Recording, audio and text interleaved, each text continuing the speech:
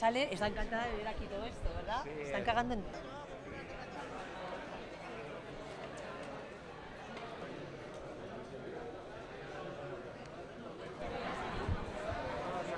La... ¿Qué?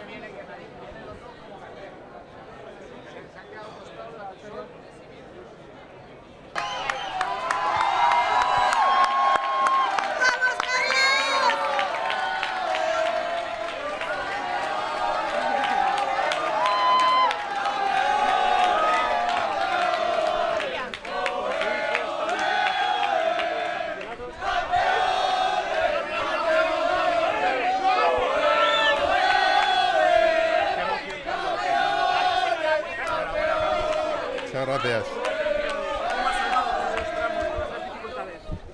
Bueno, pues como hemos podido, la verdad, porque ha sido muy... Ha sido complicado y ha funcionado todo genial, el equipo, Lucas, y muy contento. La verdad que sí, abrumado porque no lo esperaba y agradezco mucho el cariño. Abrumado, como he dicho, contento, pero no me esperaba este recibimiento ni muchísimo menos y, y bueno, demuestra el cariño de la gente y lo único que puedo hacer es agradecer una vez más. ¿Esto te hace ver la dimensión que ha alcanzado este segundo triunfo?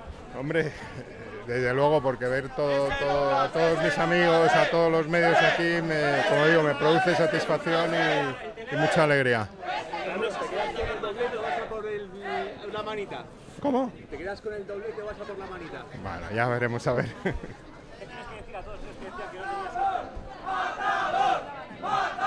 Yo creo que mis amigos sí, que están aquí son los que confían en mí, la gente de... A, a ver, siempre hay diversidad de opiniones que hay que aceptar, pero yo siempre he confiado y, y he pensado que podía conseguir la victoria. No, este. Este por la dificultad, sí, sí. No tiene nada que no, yo corro, yo corro para mí, para divertirme, para mis amigos, para la gente que me aprecia, porque me gusta, porque es mi pasión. No corro para demostrar a nadie nada, ni para, ni para nada. ¿no? ¿Cuándo sabremos tu decisión? Cuando la tome. ¿Qué es más emocionante, Carlos? ¿El podium en Córdoba o este pedazo de recibimiento que te han hecho? No, no, mm, hombre, son dos cosas diferentes, pero yo como deportista español eh, llegar a España y, y encontrar este, este recibimiento tan abrumador es muy especial y, y eso no lo cambio por nada. Y aparte con la edad lo valoran mucho más que cualquier otra cosa. Y es muy orgulloso de representar a España, de, de darle a España esta victoria y, y encantado de, de que se pueda celebrar así. 55 palos, te has, que- te has quedado con tu segundo Dakar, vas a ir a por el tercero también siendo uno de los más longevos. Dime. 55 palos, segundo Dakar. ¿Vas a ir a por un nuevo récord como uno de los más longevos con 56? No lo sé, ha dicho que ya tomaré la, la decisión. Por cierto, ¿Qué te ha parecido ¿dónde la carta está, de- la carta de ¿dónde triunfo, está Carlos? Lucas? ¿Qué ha la carta, la carta? Lucas, muchas felicidades. Lucas, muchas felicidades.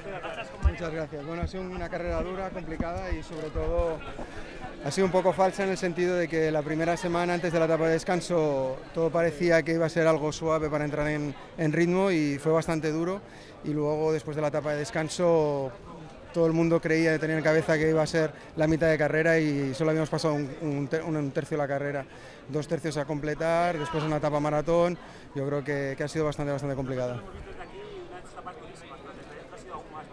Bueno, la tensión sobre todo, como hay en cualquier carrera, y, difícil, pero bueno, al final lo hemos sabido gestionar y creo que, hemos conseguido con la victoria digna. En la segunda mitad de, ¿le ibas echando tú el freno a él o te lo he ido echando él a ti?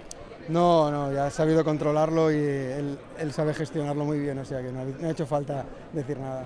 Después de cuatro años de un proyecto complicado. ¿Cómo sienta esta, esta victoria que, cierra un poco el ciclo?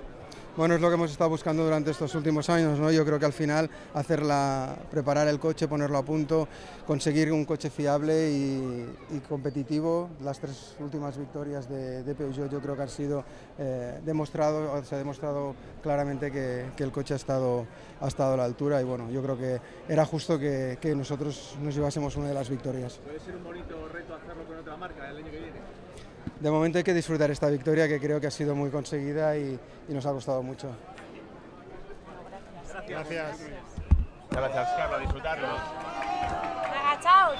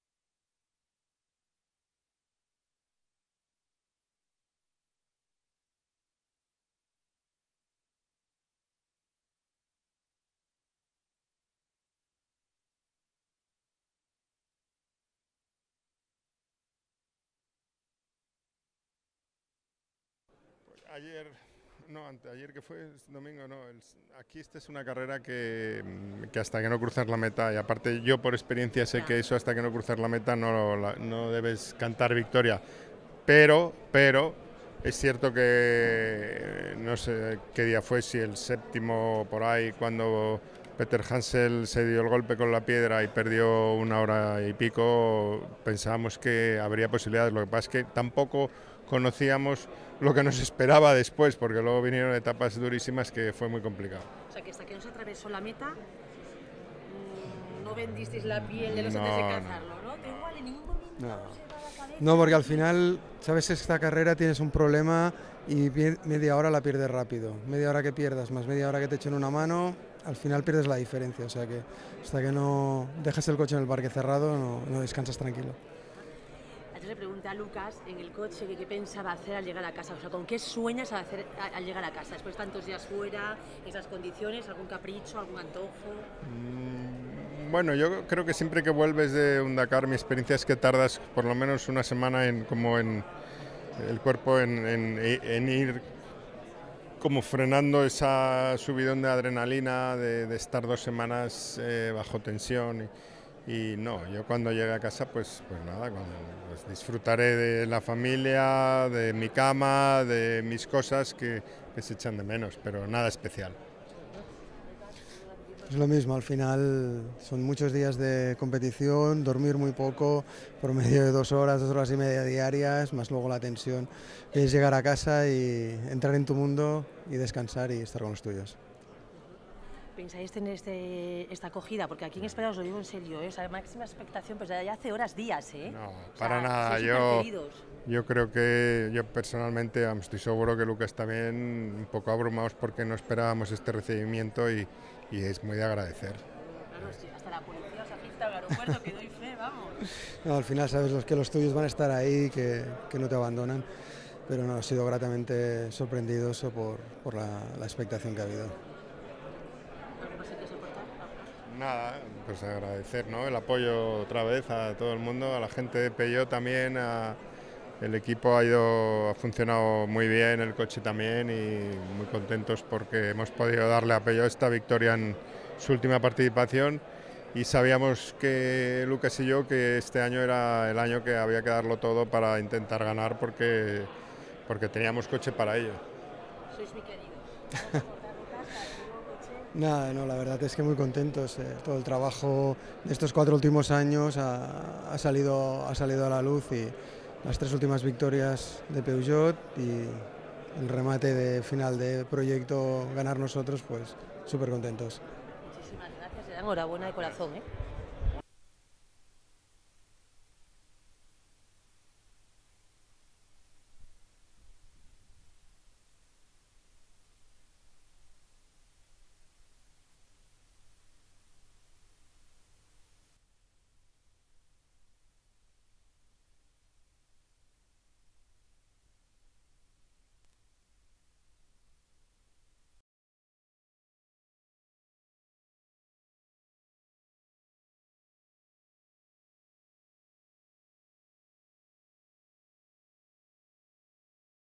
Aquí al final eh, se nos ha devuelto un poco el, el trabajo y todo ese esfuerzo de todos estos, estos años para, para hacer un coche, un coche competitivo, un coche ganador. Un camino tranquilo, los cuatro últimos días no fueron especiales fáciles, muy largas, empezando a las tres y media de la mañana y acabando a las ocho de la noche, continuando con el trabajo del roadbook y, y prepara- preparando todo para el día siguiente. Y las últimas especiales, pues bueno, aunque parezcan de trámite, no son ningún trámite, puesto que, son distancias muy largas, casi 400 o 300 kilómetros de especial y, nada fáciles, ¿no? Ahora es un momento de reflexión, de, hablarlo con, la familia, con mis amigos y decidiré. Yo entiendo que, haya mucha gente, no solo este año, ¿no? que, se haya preguntado, pero, pero ¿qué, hace, ¿qué hace este hombre no? corriendo? ¿Por qué sigue corriendo? ¿No lo necesita? Eh, tiene una edad que a lo mejor, pues... Y, y bueno, yo creo que el, el tiempo, de alguna manera, me ha dado la razón. En, en- yo estaba convencido de que, de que podía ganar, podíamos ganar otra vez el- el Dakar con el trabajo, la preparación y el respeto que requiere una carrera para una persona como, como, como yo, ¿no? como un piloto como yo. Quizá perdiendo un poco porque bueno, pues salir a Sudamérica era difícil encontrar un terreno parecido a lo mejor a lo que en su inicio fue en, en África, pero esta vez la verdad que lo han, yo desde luego ha sido la, la, la carrera más dura, in- incluyo las dos participaciones mías en, en África. Dos cosas diferentes, dos especialidades diferentes, dos periodos además de mi vida diferentes, pero desde luego si tengo que comparar la victoria de los dos Dakares, esta es mucho, mucho más emotiva, más difícil, a pesar